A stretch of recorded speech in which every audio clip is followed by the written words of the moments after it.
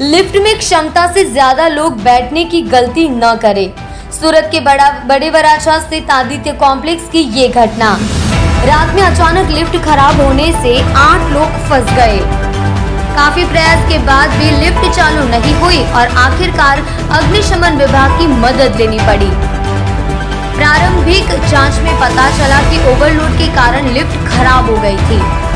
अग्निशमन विभाग द्वारा लिफ्ट से लोगों को बचाया गया।